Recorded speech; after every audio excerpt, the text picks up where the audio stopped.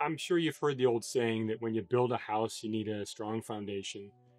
Well, having a strong grasp of the basics of composition we've covered in this course will make you a better designer. As you create any new work or revisit something maybe you've done in the past, I hope this course has taught you how to look at that work with a critical eye.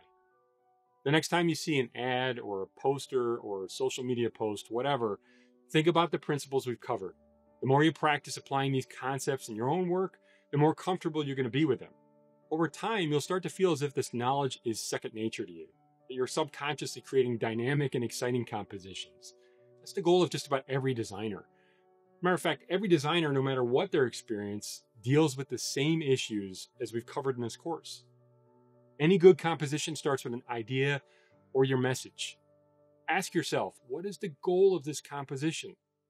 Once you make that decision, think about the size and the format of the composition. Remember that these clues are usually within your idea, so really look for them. Start to figure out shapes and lines and what purpose they might serve on your layouts.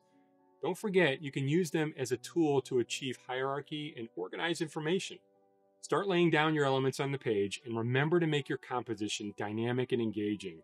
As soon as it starts to feel like it's heading toward boring, use the tools you learned here to make it more exciting. Take a look at the negative space. Does it need to be opened up a bit? Does one of the elements need to be bigger?